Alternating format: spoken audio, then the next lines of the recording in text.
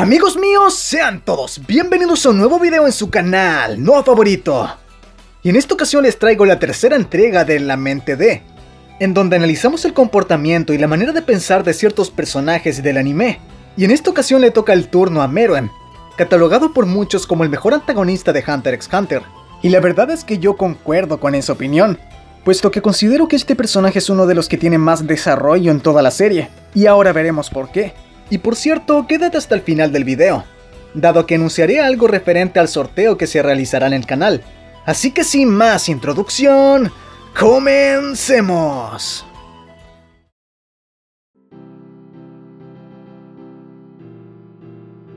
El rey de las hormigas, Meruem, nació como el pináculo de su especie, el más fuerte, el más astuto, el líder de sus subordinados, destinado a gobernar el mundo, erradicando a los humanos, los dominantes. Por ende, antes de su nacimiento, este personaje ya tenía un objetivo en la vida, como si se tratase de un robot programado únicamente para hacer una función. Pero, a medida que pasó el tiempo, algo cambió en él, algo tan significativo que hizo que llegase a confundir su propia naturaleza. Primero remontémonos a sus primeros días de vida. Meruem, como todo recién nacido, solamente recalca su lado más primitivo. En su caso es la fuerza, el pensamiento de ser superior a los demás, que por cierto su madre de una u otra forma fue la responsable de eso. En este periodo vemos que Meruem no tiene respeto ni a su propia especie, matando sin piedad a las hormigas que le faltaban el respeto. Su crueldad y poca empatía era algo que lo caracterizaban. Cuando éste incursiona en el mundo humano y se ve cara a cara con un dictador, el rey hormiga siente asco de él, y le da mucha rabia cómo está estructurada la sociedad humana. No le cabía en la cabeza el hecho de que personas incompetentes se adjudicaran el rol de rey en la sociedad, que eso solo traería miseria. Este hecho hizo que afirmara aún más su pensamiento, que las hormigas quimeras son mejores, que él es el único indicado para gobernar todas las especies. Mientras iban pasando los días y mientras se hacían los preparativos para el nuevo gobierno mundial, Meruem decide distraer su mente y logra llevar ante él a los mejores jugadores de distintos juegos de mesa. Su objetivo era demostrar que él es superior en todos los ámbitos, porque nació para eso. Y así fue derrotando a uno tras otro, a jugadores con mucha experiencia. Y Meruem, pues solo leyendo las instrucciones, los derrotó. Y esto es obvio, dado que su especie tiene un nivel de potencial mucho más grande que el de los humanos. Aunque para Meruem eso no le importaba, necesitaba demostrarse a sí mismo su superioridad contra especies inferiores, hasta que llegó un personaje que lo cambió todo por completo, Komugi.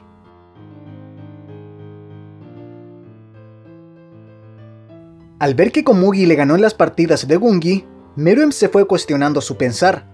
¿Y si no es tan perfecto? ¿Y si la fuerza no lo es todo? Preguntas las cuales le hicieron un revoltijo en la cabeza, sintiéndose unidimensional puesto a que Meruem solo veía el mundo en blanco y negro. No llegó a analizar la vasta complejidad de detalles que existen. Por eso, este decide acabar con la vida de Komugi. Su naturaleza no le permitía dudar de su pensamiento. Pero en ese momento sucede algo impensable. Al ver que su contrincante, quien le ha ganado un montón de veces en un juego de mesa, demostrando que es superior a él, está en peligro por un par de cuervos, toda la lógica que concebía Meruem se desmoronó. Rápidamente salvó a Komugi de esas aves y la atendió, mientras se preguntaba el por qué estaba haciendo eso. ¿Por qué su contrincante, quien era superior a él, no podía defenderse de algo tan débil como un par de aves? Y es ahí en donde Meruem comprende que la fuerza no lo es todo, que existen cosas más allá del poder, que el ser humano, que los seres pensantes en general son mucho más complejos de lo que él imaginaba. Desde ese momento Meruem empieza a replantearse todo, hasta tal punto en que más adelante promete tener un lugar para los humanos, porque considera que existen algunos que tienen potencial, que merecen vivir, cosa que antes era impensable para él. Antes de su cambio de parecer, los humanos eran una raza incompetente, débil, y que solo servía como alimento para las hormigas. En este punto de la historia empieza a suceder algo interesante, y no solo con Meruem, sino que con todos los personajes en general. Se nos hace un paralelismo entre humanos y hormigas, y se nos hace cuestionar el hecho de quiénes son en realidad los monstruos. ¿Acaso de verdad son las hormigas? Hasta Netero tuvo dudas de eso al conocer a Meruem, al ver que éste estaba sosteniendo con Mugi luego del ataque de Seno en el palacio. Ni Netero ni Seno vieron venir eso, Ellos esperaban toparse con un ser despiadado, un demonio, pero no. Vieron lo que pudieron haber visto en un humano, a un ser protegiendo a otro más débil. Al mismo tiempo vemos como personajes como Gon iban sucumbiendo ante la oscuridad, el odio y el resentimiento iban transformando personajes llenos de bondad. Y por otro lado también vemos como los soldados hormiga iban recordando sus vidas pasadas, sacando el lado humano que llevaban consigo, el cual los hizo tomar las riendas de sus vidas, desobedeciendo a sus superiores, formando sus propios grupos o simplemente huyendo o cambiando de bando.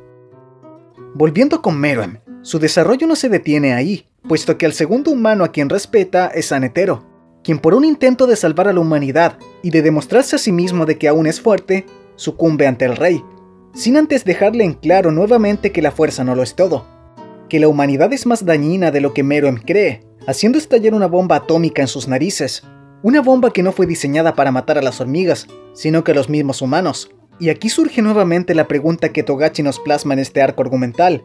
¿Quiénes son realmente los monstruos? ¿Los humanos o las hormigas?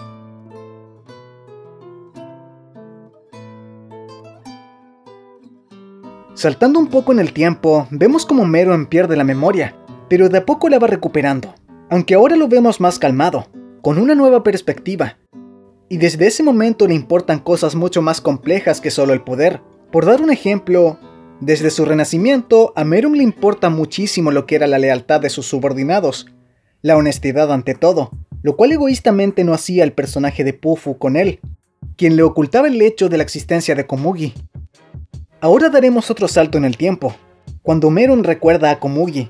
Vemos que a él ya no le importa el plan para gobernar el mundo, Meron renunció a su naturaleza y al objetivo con el cual fue concebido.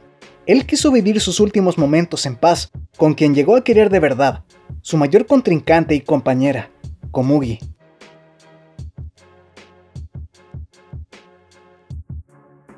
En conclusión, a grandes rasgos podemos ver que Meruem jamás fue malo, simplemente siguió sus objetivos dentro de su especie, que a diferencia de nosotros, las hormigas en su mayoría lo hacían por naturaleza, pero los humanos por otro lado lo hacemos por mera maldad. Y en lo personal me agradó mucho la evolución de este personaje, quien era temido por los humanos, quien era catalogado como un ser implacable, sin empatía y dispuesto a gobernar cueste lo que cueste. ¿Y ustedes, qué opinan acerca de este personaje? Déjenmelo saber en la caja de comentarios.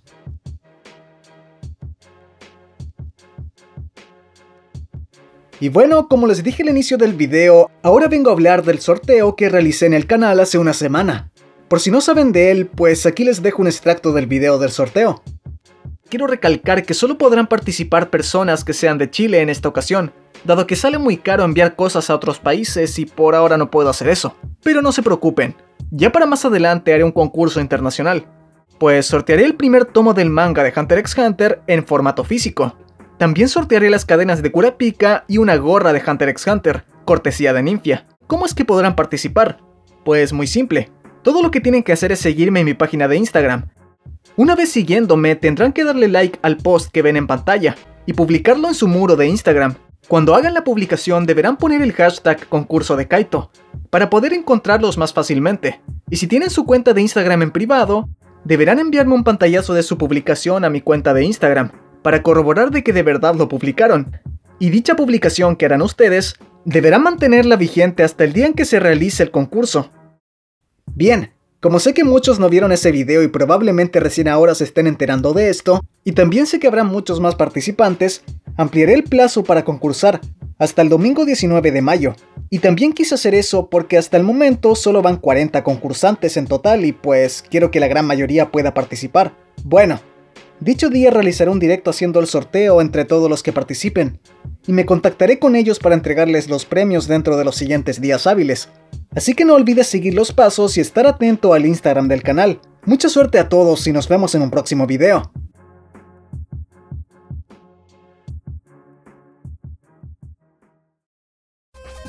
Y bueno, por mi parte esto ha sido todo en esta ocasión. Si te ha gustado este video, te invito a que le des pulgar arriba y lo compartas en tus redes sociales. No olvides suscribirte y seguirme en Twitter y Facebook. Y hasta la próxima.